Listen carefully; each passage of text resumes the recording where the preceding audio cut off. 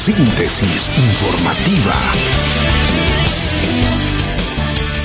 El transporte anuncia paro el jueves. Los transportistas suspendieron su marcha e inician una vigilia para organizar el paro movilizado que han decretado para el día jueves, en demanda a la liberación del pasaje a dos bolivianos. El sector informó que pedirán apoyo al transporte interprovincial.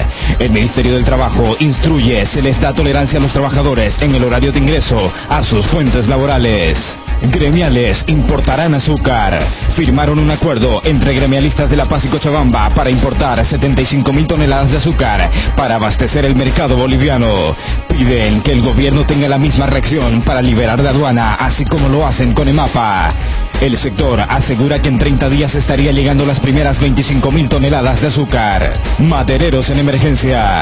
Quienes se dedican a la explotación de la madera están fuera de la ABT en rechazo a los nuevos controles que le harán al sector. Denuncian que monitorearán todo el trabajo de los madereros. No saldrán del lugar hasta que la ABT anule las directrices del control que consideran absurdas y que perjudican la normal actividad de la explotación de la madera. Para el director nacional de la ABT, Clive Quienes han tomado la institución son quienes defienden la ilegalidad y el contrabando. Nuevo presidente de la CAINCO.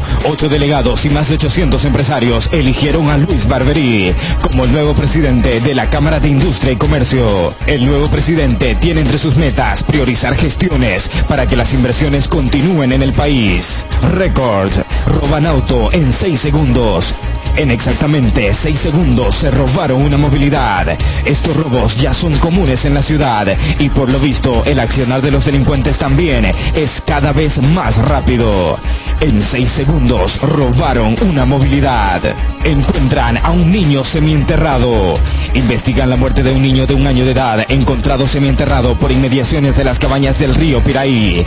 La madre sería la sospechosa porque según la abuela del menor, su hija Daniela Vargas Centeno le comentó que el bebé murió y que ella sola lo había enterrado. Pero después cambió de versión y le dijo que regaló al niño. La policía busca a la madre para esclarecer el hecho. Percances de avionetas. Dos aeronaves sufrieron emergencias en Santa Cruz. Primero, una avioneta de instrucción Cessna 152 que realizó un aterrizaje de precaución a 60 kilómetros al sur de Santa Cruz, carretera Camiri. La nave sufrió alguna variación en la mediación de combustible, lo que provocó que un estudiante de pilotaje aterrice en monomotor en la carretera.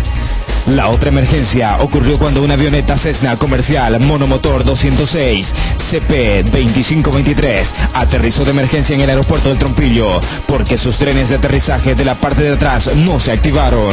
Afortunadamente, en ambos casos no se reportaron personas lesionadas ni heridas. Victoria's Secret y sus nuevas ángeles. Una revista experta en el mundo de la moda trae en su portada a la más reciente contratación de Victoria's Secret.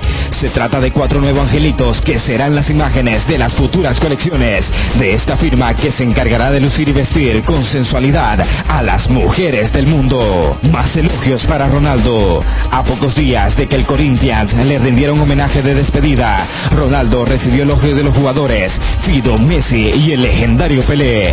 El jugador, al escuchar las palabras que lo elogiaban, no pudo contener las lágrimas.